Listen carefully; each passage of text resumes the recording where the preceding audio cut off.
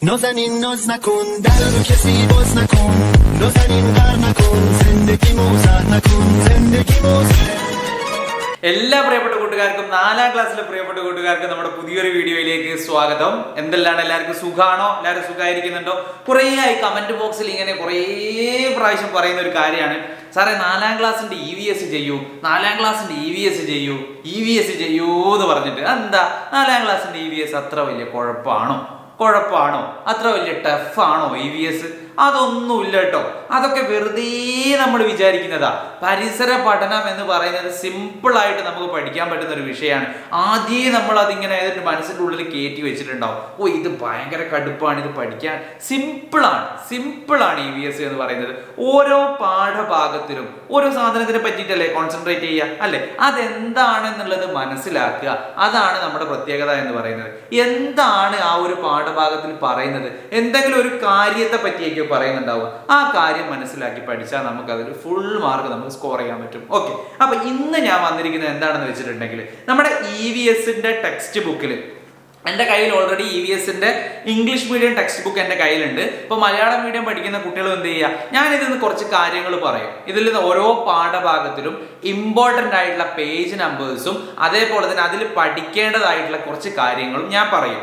Okay അപ്പോൾ എന്ത് ചെയ്യുക നിങ്ങൾ നിങ്ങൾ നിങ്ങളുടെ ടെക്സ്റ്റ് ബുക്ക് എടുക്കുക ഓപ്പൺ ചെയ്ത് വെക്കുക. മലയാളം മീഡിയം കുട്ടികൾ മലയാളം ടെക്സ്റ്റ് ബുക്ക് എടുത്ത് ഓപ്പൺ ചെയ്ത് വെക്കുക. ഇംഗ്ലീഷ് മീഡിയം ആണ് ഇംഗ്ലീഷ് മീഡിയം ഓപ്പൺ ചെയ്ത് വെക്കുക. എന്നിട്ട് എന്ത് ചെയ്യുക ഞാനിവിടെ പറയുന്ന ഇമ്പോർട്ടന്റ് ആയിട്ടുള്ള കാര്യങ്ങൾ മാർക്ക് ചെയ്യുക എന്നുള്ളതാണ് ഇവിടെ ഞാനിവിടെ സ്ക്രീനിലൊന്നും ഞാൻ കാണിച്ചു തരുമൊന്നുമില്ല ഞാനിങ്ങനെ പറഞ്ഞു പോവുകയുള്ളൂ ഇത് നിങ്ങൾ എന്ത് ചെയ്യുക വീഡിയോ കേട്ടിട്ട് ടെക്സ്റ്റ് ബുക്കിൽ മാർക്ക് ചെയ്തിട്ട് പഠിക്കാം ഇനി ടെക്സ്റ്റ് ബുക്ക് കയ്യില്ലെങ്കിൽ വീഡിയോ ഇപ്പം തന്നെ പോസ് ചെയ്തോ.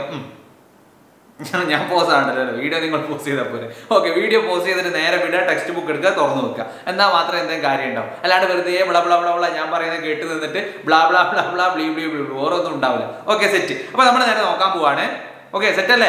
സെറ്റ് അല്ലേ? റെഡി സെറ്റ് പോകുക അപ്പൊ നമ്മൾ നേരെ നോക്കാൻ പോവാണ്. ആദ്യം തന്നെ ഒരു കാര്യം പറയാനുള്ളത് ചാനൽ സബ്സ്ക്രൈബ് ചെയ്യാത്തവരൊക്കെ ഒന്ന് പോയി സബ്സ്ക്രൈബ് ചെയ്യണം. ലൈക്ക് ചെയ്യാത്തവരൊക്കെ ഒന്ന് ലൈക്കും ചെയ്യണം. വേഗം പോയി സബ്സ്ക്രൈബ് ചെയ്തോ ചെയ്യാത്തവരൊക്കെ വെറുതെ സബ്സ്ക്രൈബ് ചെയ്യാതെ നിൽക്കുക അല്ലേ? ഏം ചെയ് ഏം ചെയ് നിങ്ങളെ കൂട്ടുകാർക്കൊക്കെ അയച്ചു കൊടുക്കണം. റെഡി അപ്പൊ നേരെ പോവാണ്. നമ്മുടെ ഇ വി എസ് എന്ന് പറയുന്ന ഈ ഒരു ടെക്സ്റ്റ് ബുക്കിൽ നിന്ന് നമുക്ക് പാഠം. ഓക്കെ ഇന്ത്യയിലൂടെ തൊണ്ണൂറ്റി ഏഴാമത്തെ പേജ് മുതൽ യൂണിറ്റ് നയൻ മുതലാണ് നമുക്ക് വരുന്നത്. യൂണിറ്റ് നയൻ മുതൽ നമുക്ക് ഈ ഒരു ടെക്സ്റ്റ് ബുക്കിൽ നിന്ന് ചോദ്യങ്ങൾ ചോദിക്കാം. ഓക്കെ അപ്പൊ ഇതിന്ന് പ്രധാനമായിട്ടും നമുക്ക് മനസ്സിലാക്കാനുള്ളത് ഇന്ത്യയിലൂടെ എന്ന് പറയുന്ന ഈ ഒരു പാഠഭാഗത്തിൽ ഏഹ് നമുക്ക് ആദ്യം തന്നെ തൊണ്ണൂറ്റി എട്ടാമത്തെ പേജ് എടുത്ത് എല്ലാവരും തൊണ്ണൂറ്റി എട്ട് തൊണ്ണൂറ്റി എട്ടാമത്തെ പേജ് ആ തൊണ്ണൂറ്റി എട്ടാമത്തെ പേജിൽ നിങ്ങൾക്ക് അവിടെ ഇന്ത്യയുടെ ഒരു മാപ്പ് കാണും അല്ലെ? ഇന്ത്യയുടെ ഒരു മാപ്പ് നിങ്ങൾക്ക് അവിടെ കാണാൻ കഴിയുന്നുണ്ട്. അഥവേ സോറി അഥവാ അഥവേ എന്നല്ലല്ലോ അഥവാ ഇന്ത്യയുടെ ഒരു മാപ്പ് തന്നിട്ട് അതിൽ നമ്മളോട് സംസ്ഥാനങ്ങൾ അടയാളപ്പെടുത്താൻ പറഞ്ഞാൽ നമുക്ക് എന്ത് ചെയ്യണം? സംസ്ഥാനങ്ങൾ അടയാളപ്പെടുത്താൻ കഴിയണം കഴിയണം. പിന്നെ ഏറ്റവും പ്രധാനമായിട്ടുള്ള ഒരു കാര്യമാണ് പിന്നെ ഒരു സംസ്ഥാനം സ്റ്റേറ്റ് അതേപോലെ തന്നെ നമ്മൾ അതിന്റെ സംസ്ഥാനത്തിന്റെ ക്യാപിറ്റൽ അതേപോലെ തന്നെ അതിന്റെ ലാംഗ്വേജ് അതേപോലെ തന്നെ ആ ഒരു സംസ്ഥാനത്തിന്റെ ആർട്ട് ഫോം. ഇത് ഏതാണെന്ന് എന്നുള്ളത് നമ്മൾ എന്ത് ചെയ്യണം? നമ്മളത് മനസ്സിലാക്കി വെക്കണം. നമ്മൾ എന്ത് ചെയ്യണം? അത് മനസ്സിലാക്കണം. അത് മനസ്സിലാക്കൽ നിർബന്ധമുള്ള കാര്യമാണ് ഓരോ സംസ്ഥാനങ്ങൾ. ഓരോ സംസ്ഥാനങ്ങളെ പറ്റി ഇവിടെ പറയുന്നുണ്ടല്ലോ. എവിടെയാ പറയുന്നത്? നമ്മുടെ തൊണ്ണൂറ്റി ഒമ്പതാമത്തെ പേജ് എടുക്കൂ. തൊണ്ണൂറ്റി ഒമ്പതാമത്തെ പേജിൽ ഇവിടെ നോക്കൂ. ഇവിടെ നമ്മൾ അരുണാചൽ പ്രദേശിനെ പറ്റി പറയുന്നു അല്ലെ? അവിടെ നോക്കൂ തിരിച്ചറിയാം എന്നുള്ളത് let's know more Arunachal Pradesh the state at the eastern end of India അല്ലെ? ഇന്ത്യയുടെ കിഴക്കേ അറ്റത്തുള്ള സംസ്ഥാനം. ഓക്കെ നമ്മുടെ രാജ്യത്തെ ഏറ്റവും വലിയ ബുദ്ധവിഹാരം ഇവിടെ സ്ഥിതി ചെയ്യുന്നു? അതിന്റെ ക്യാപിറ്റൽ എന്ന് പറയുന്നത് ഇറ്റാനഗറാണ് ഓർക്കിഡുകളുടെ പറുദീസയാണ് അരുണാചൽ. മിഥുൻ അരുണാചലുകാരുടെ പ്രിയപ്പെട്ട മൃഗമാണ്. വിവിധ ഭാഷകൾ സംസാരിക്കുന്ന ജനങ്ങളാണ് ഈ സംസ്ഥാനത്തുള്ളത്. ഇങ്ങനെ അരുണാചൽ പ്രദേശ് ജമ്മു കാശ്മീര് അതേപോലെ തന്നെ തമിഴ്നാട് ഗുജറാത്ത് പിന്നെ നമ്മൾ നമ്മുടെ സ്വന്തം നമ്മുടെ സ്വന്തം കേരളം അല്ലെ അതേപോലെ തന്നെ നമുക്ക് അറിയുന്ന അറിയുന്നതായി നമ്മൾ കേട്ട് പരിചയമുള്ള കുറച്ച് സംസ്ഥാനങ്ങൾ ഉണ്ടല്ലോ കേട്ട് പരിചയമുള്ള ഗോവ. ഗോവ നമുക്ക് കേട്ട് പരിചയമുള്ള ഒരു സ്ഥലല്ലേ ഗോവ. അതേപോലെ തന്നെ ഗുജറാത്ത് മഹാരാഷ്ട്ര തമിഴ്നാട് കേരള കർണാടക ഡൽഹി ജമ്മു കാശ്മീർ. ഇതൊക്കെ നമുക്ക് കേട്ട് പരിചയമുള്ള സംസ്ഥാനങ്ങളാണ് അല്ലെ? അപ്പൊ എന്ത് ചെയ്യുക ഈ കേട്ട് പരിചയമുള്ള സംസ്ഥാനങ്ങളുടെ ഞാൻ ഈ പറഞ്ഞ സ്റ്റേറ്റ് അതിന്റെ ക്യാപിറ്റൽ അതേപോലെ തന്നെ അതിന്റെ അവിടെയുള്ള ഒരു ആർട്ട് ഫോം ഇതൊക്കെ എന്ത് ചെയ്യുക നിങ്ങൾ എന്ത് ചെയ്യുക നിങ്ങൾ നന്നായിട്ടൊന്ന് പഠിക്കുക. അവിടെയുള്ള ലാംഗ്വേജസ് ഏതാണെന്നുള്ളത് എന്ത് ചെയ്യുക പഠിക്കുക അത് വളരെ ഇമ്പോർട്ടന്റ് ആയിട്ടുള്ള കാര്യമാണ്. ഒരു ഒരു സംസ്ഥാനവും ആ സംസ്ഥാനത്തിന്റെ ലാംഗ്വേജ് ഏതാണെന്നുള്ളതും നിർബന്ധമാണ്. അതിന്റെ ആർട്ട് ഫോം അതൊന്നൊരു ഒരു പിന്നെ ഒരു ഒരു വെള്ള പേപ്പർ എടുത്തിട്ട് സംസ്ഥാനം ഞാൻ ഈ പറഞ്ഞ കുറച്ച് കുറച്ച് സംസ്ഥാനങ്ങളുടെ പേര് അങ്ങോട്ട് എഴുതുക. ഇനി നിങ്ങൾക്ക് എല്ലാം പഠിക്കാനെന്നുണ്ടെങ്കിൽ നിങ്ങൾക്ക് എന്ത് ചെയ്യുക എല്ലാം എഴുതിയിട്ട് അതിന്റെ നേരെ അതിന് സംസ്ഥാനത്തിന്റെ പേര് അതിന്റെ ക്യാപിറ്റൽ അതിന്റെ ആർട്ട് ഫോം അതിന്റെ ലാംഗ്വേജ് ഏതൊക്കെയാണെന്നുള്ളത് എന്ത് ചെയ്യുക? എഴുതി നോക്കുക. അതാണ് ഈ ഒരു പാഠത്തിലുള്ളത്. കണ്ടില്ലേ നിങ്ങൾ? നിങ്ങൾ നോക്കിയ ഇവിടെ നൂറ്റി ഒന്നാമത്തെ പേജിൽ സ്റ്റേറ്റ് ക്യാപിറ്റൽ നൈബറിംഗ് സ്റ്റേറ്റ്സ് അതേപോലെ തന്നെ നൂറ്റി രണ്ടാമത്തെ പേജിൽ സ്റ്റേറ്റ് ലാംഗ്വേജസ് ആർട്ട് ഫോം കണ്ടോ നിങ്ങൾ? കണ്ടില്ലേ? അതന്നെയാണ് ഇവിടെ ഉള്ളത്. കണ്ടില്ലേ? സ്റ്റേറ്റ് ആർട്ട് ഫോം നമ്മൾ എന്ത് ചെയ്യുന്നു? ഇത് മൊത്തം നമ്മളൊരു പേപ്പറിലാക്കിയിട്ട് ചടവടയെന്ന് പറഞ്ഞ് നമ്മൾ അങ്ങോട്ട് പഠിക്കുന്നു. നമുക്ക് പഠിക്കണം. കുറച്ച് നമ്മൾ പഠിക്കണം.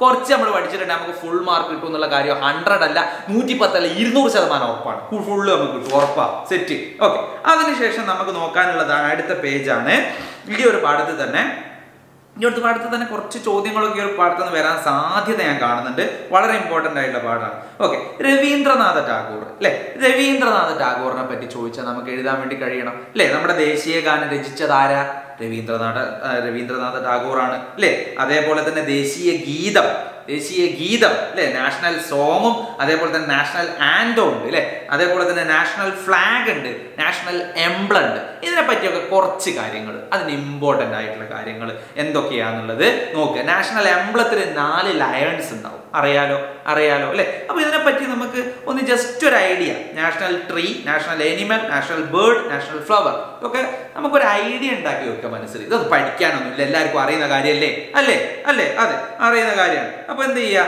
നമ്മൾ അതൊന്ന് ജസ്റ്റ് ഒന്ന് നോക്കി വെക്കുക. നോക്കി വെച്ചിട്ട് ഓക്കെ കഴിഞ്ഞു. ആ പാഠം കഴിഞ്ഞു. ഇനി അടുത്തത് നമ്മൾ പത്താമത്തെ യൂണിറ്റിലേക്ക് പോവാണ്. കണ്ണെത്താ ദൂരത്ത് കൈയെത്താ ദൂരത്ത് എന്ന് പറയുന്ന ഈ ഒരു പാഠത്തിൽ നമുക്കറിയാം. ഈ ഒരു പാഠത്തിൽ പഴയ കാലത്തെ ആളുകൾ അതേപോലെ തന്നെ പുതിയ പഴയ കാലത്തെ ആളുകൾ ഇപ്പോൾ ഈ നമ്മുടെ ഈ മൊബൈൽ ഫോൺ അതേപോലെ തന്നെ ടി നമ്മുടെ എന്താ പറയുക കമ്പ്യൂട്ടർ ഇതൊക്കെ പഴയ കാലത്ത് ഉണ്ടായിരുന്നോ ഇല്ല. പഴയ കാലത്ത് നമ്മൾ ആശയവിനിമയത്തിനൊക്കെ ഉപയോഗിച്ചത് മറ്റുള്ള രീതികളായിരുന്നു. കത്തെഴുതിയിട്ടായിരുന്നു പഴയ കാലത്തൊക്കെ നമ്മൾ ഒരു ഒരു എന്തെങ്കിലും ഒരു ഇമ്പോർട്ടന്റ് ആയിട്ടുള്ള ഒരു കാര്യം നമുക്ക് അറിയിക്കണം എന്നുണ്ടെങ്കിൽ ദുബായിലേക്കൊക്കെ അയക്കണമെന്നുണ്ടെങ്കിൽ പത്തോ ഇരുപതോ ദിവസം കഴിഞ്ഞിട്ടാണ് എത്തുക. ഇന്നോ വാട്സപ്പിൽ ഒരു മെസ്സേജ് ഹായ് ഡാ നീ എവിടെയാ? ആടെ എത്തി? കണ്ട്. അല്ലേ അത്രേ ഉള്ളൂ. അപ്പൊ കാലം മാറിയ ഒരു പോക്ക് അല്ലേ അപ്പൊ നമ്മൾ ഇത് ഒരുപാട് ഉപകരണങ്ങളെ പറ്റി ഇതിനകത്ത് പഠിക്കുന്നുണ്ട് അല്ലെ ഉപകരണങ്ങൾ. അതാണ് ഈ ഒരു പ്രധാനപ്പെട്ട ഈ ഒരു പാഠത്തിൽ പ്രധാനമായിട്ടുള്ള ഒരു സംഭവം എന്ന് പറയുന്നത് എന്താ? ഉപകരണങ്ങളാണ്. നൂറ്റി നൂറ്റി നൂറ്റി നൂറ്റി നൂറ്റി പത്ത് നമുക്ക് നോക്കാം. മാറ്റങ്ങൾ തിരിച്ചറിഞ്ഞ് പട്ടിക തയ്യാറാക്കൂ. ഫ്രം സൗണ്ട് ടു സൈറ്റ് കേൾവിയിൽ നിന്ന് കാഴ്ചയിലേക്ക്. Rapid changes occur in the നൂറ്റി പത്താമത്തെ പേജിൽ in the field of communication radio was the only sources of mass communication T F U അല്ലേ നോക്കിയേ നിങ്ങൾ ഇവിടെ മലയാളം വായിച്ചത് വാർത്താവിനിമയ രംഗത്ത് അനുദിന മാറ്റങ്ങൾ വന്നുകൊണ്ടിരിക്കുകയാണല്ലോ. അല്പകാലം മുമ്പ് വരെ വാർത്തകൾ അറിയാൻ റേഡിയോ മാത്രമായിരുന്നു നമ്മൾ ഉപയോഗിച്ചിരുന്നത്. ഇലക്ട്രോണിക് ഉപകരണം എന്നാൽ എന്നാൽ ഇന്നോ?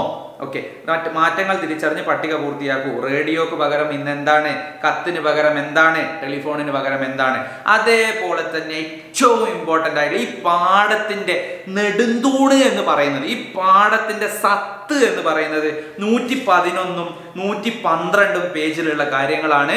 അതെന്റെ കുട്ടികൾ എന്തായാലും ഈ കാര്യങ്ങളെ പറ്റിയിട്ട് news paper computer telegraph radio television അതേപോലെ തന്നെ internet fax telephone walkie talkie mobile phone ഇതിനെ പറ്റിയിട്ട് നിങ്ങൾ ജസ്റ്റ് ഒരു ഐഡിയ നിങ്ങൾ ഉണ്ടാക്കി വെക്കണം. എന്താണ് എന്ന് ചോദിച്ചാൽ നമുക്ക് അത് എഴുതാൻ വേണ്ടി കഴിയണം. ന്യൂസ് പേപ്പർ എന്താണ്? കമ്പ്യൂട്ടർ എന്താണ്? ടെലിഗ്രാഫ് എന്താണ്? റേഡിയോ എന്താണ്? ടെലിഗ്രാഫ് എന്ന് പറഞ്ഞാൽ എന്താ? നിങ്ങൾക്ക് എന്നെ പരിചയം ഉണ്ടാവില്ല എന്ന് പറഞ്ഞ് തുടങ്ങിയാണ് അല്ലേ? I may not be familiar to you because I am out of use today അല്ലേ ഈ ഒരു പിന്നെ ഇപ്പോ ഇപ്പൊ നിങ്ങൾക്ക് എന്നെ പരിചയം കാരണം ഞാനിന്നില്ല. പക്ഷേ വളരെ കാലം ജനങ്ങൾ പെട്ടെന്നുള്ള ആശയവിനിമയത്തിന് എന്നെയാണ് ആശ്രയിച്ചത്. അകലെ എന്നർത്ഥമുള്ള ടെലി. എഴുതുക എന്നർത്ഥമുള്ള ഗ്രാഫിൻ എന്നീ രണ്ട് ഗ്രീക്ക് പദങ്ങൾ ചേർന്നതാണ് ടെലിഗ്രാം. ടെലിഗ്രാം ഇപ്പൊ ടെലിഗ്രാം ഇല്ലേ? നമ്മൾ സിനിമയൊക്കെ ഡൗൺലോഡ് ചെയ്യുന്നത് ടെലഗ്രാം. അതിനായി ഇപ്പൊ എല്ലാവരും ഉപയോഗിക്കുന്നത്. വാട്സപ്പ് പോലെയുള്ള ഒരു ആപ്പാണ് ടെലഗ്രാം അല്ലെ? അത് തന്നെയാണ് ടെലഗ്രാം ടെലഗ്രാഫ്. ഓക്കെ. എന്നെനിക്ക് ടെലഗ്രാം ആലോചിച്ചത് അല്ലെ? പേര് പേരുണ്ടായത് ഇടയ്ക്കെങ്കിലും എന്നെ ഓർക്കണേ. എന്റെ ചരിത്രം അന്വേഷിച്ചറിയില്ലേ? ടെലഗ്രാഫ് റേഡിയോ അല്ലെ? ടെലിവിഷൻ കമ്പ്യൂട്ടർ അതേപോലെ തന്നെ ഇന്റർനെറ്റ് ഫാക്സ് എന്താ ഫാക്സ് എന്നുള്ളത്? Telephone walkie talkie mobile phone ഇതിനെ പറ്റിയിട്ട് ചെറിയൊരു ഐഡിയ എന്റെ കുട്ടികൾ എന്തായാലും ഉണ്ടാക്കി വെക്കണം. ഈ ഒരു പാഠത്തിൽ പ്രധാനപ്പെട്ട ഒരു സംഭവമാണ് ഈ ഒരു സംഭവം എന്ന് പറയുന്നത്. അതേപോലെ തന്നെ മറ്റൊരു കാര്യം എന്ന് പറയുന്നതാണ്. ഇവിടെ ക്ലാസിഫൈ ചെയ്യാനുണ്ട് അല്ലേ message transfer to individual message transfer to the mass അല്ലെ? ഇൻഡിവിജ്വൽ ആയിട്ടും സമൂഹത്തിലേക്കും നമുക്കൊരു സന്ദേശം അല്ലെങ്കിൽ ഒരു ആശയം കൈമാറ്റം ചെയ്യാൻ വേണ്ടിയിട്ട് നമുക്ക് ഉപയോഗിക്കുന്നതാണ് ഫോണ് പത്രം അതേപോലെയുള്ള മറ്റുള്ള മാർഗങ്ങൾ radio email television fax phone പത്രം ഇതൊക്കെ എന്ത് ചെയ്യും? നമ്മൾ തരംതിരിക്കാൻ വേണ്ടിയിട്ടാണ്. അതൊന്ന് എന്ത് ചെയ്യുക? നിങ്ങൾ ഒന്ന് ജസ്റ്റ് ഒന്ന് നോക്കുക ആ ഒരു എന്താ പറയാ ആ ഒരു എന്താ അവിടെ കൊടുത്തത്? ആ ഒരു പട്ടിക അല്ലെ? ആ ഒരു പട്ടികയും നിങ്ങളൊന്ന് ജസ്റ്റ് ഒന്ന് നോക്കുക. തീർന്നോ? തീർന്നോ? യെസ് കഴിഞ്ഞു. ആ പാഠം കഴിഞ്ഞു. ഇനി അടുത്തത് കെയർ ഫോർ ഫ്രണ്ട്സ് എന്ന് പറയുന്ന ലാസ്റ്റ് പാടല്ലേ ഇത്? പതിനൊന്നാമത്തെ അല്ലേ? കൂട്ടുകാർക്ക് ഒരു കരുതൽ അല്ലേ? ലാസ്റ്റ് പാടല്ലേ ഇനി ഉണ്ടോ പാട്? ഒരുപാട് കൂടി ഉണ്ട് അല്ലേ? ഓക്കെ ഓക്കെ കൂട്ടുകാർക്ക് ഒരു കരുതൽ എന്ന് പറയുന്ന ഒരു പാഠത്തിലേക്കാണ് നമ്മൾ ഇതിൽ പോകുന്നത്. ഈ ഒരു പാഠത്തിൽ നമുക്ക് പ്രധാനമായിട്ട് പാഠത്തിന് ഞാൻ പറഞ്ഞല്ലോ ഏതൊരു പാഠാണെങ്കിലും അതിൽ പ്രധാനപ്പെട്ട ഒരു സംഭവം ഉണ്ടാവും അല്ലെ? നേരത്തെ നമ്മൾ പറഞ്ഞു അതിൽ ഒരുപാട് ഉപകരണങ്ങളുടെ പേരുകൾ അല്ലെ? ഇതിൽ നമുക്ക് പ്രധാനമായിട്ട് നമുക്ക് നോക്കാനുള്ളത് എന്താണെന്ന് നിങ്ങൾക്കറിയോ. എന്താണെന്നറിയോ? ഫസ്റ്റ് എയ്ഡുകളാണ് അല്ലെ? ഓരോ അപകടങ്ങൾ സംഭവിച്ചാൽ അല്ലെ? അപകടങ്ങൾ സംഭവിച്ചാൽ നമുക്ക് കൊടുക്കാൻ പറ്റുന്ന ഫസ്റ്റ് എയ്ഡ് അല്ലെങ്കിൽ പ്രഥ പ്രഥമ ശുശ്രൂഷ എന്ന് പറയുന്നതാണ് അല്ലെ? ഫസ്റ്റ് എയ്ഡ് നോക്കിയേ നിങ്ങൾ ആക്സിഡന്റുകൾ അതുപോലെ നൂറ്റി പതിനെട്ടാമത്തെ പേജിൽ എന്തൊക്കെ അപകടങ്ങൾ അല്ലെ? എന്തൊക്കെ അപകടങ്ങൾ? തീപ്പൊള്ളൽ പോലുള്ള അല്ലെ? ഒരുപാട് അപകടങ്ങൾ നമുക്കറിയാം അല്ലെ? നിങ്ങൾ എഴുതിയിട്ടുണ്ടാവും അപ്പോൾ അപകടങ്ങൾ എന്തൊക്കെയാന്നുള്ളത് ജസ്റ്റ് ഒന്ന് നമുക്ക് ക്ലാസിഫൈ ചെയ്യാൻ പറ്റും. ജസ്റ്റ് നമുക്കൊന്ന് നമ്മുടെ മൈൻഡിൽ ഉണ്ടായിരിക്കണം എന്തൊക്കെ അപകടങ്ങൾ എന്നുള്ളത്. നമ്മൾ പഠിക്കുന്നുണ്ട് തൊട്ടപ്പുറത്ത് പഠിക്കുന്നുണ്ട് ഉണ്ടായിരിക്കണം.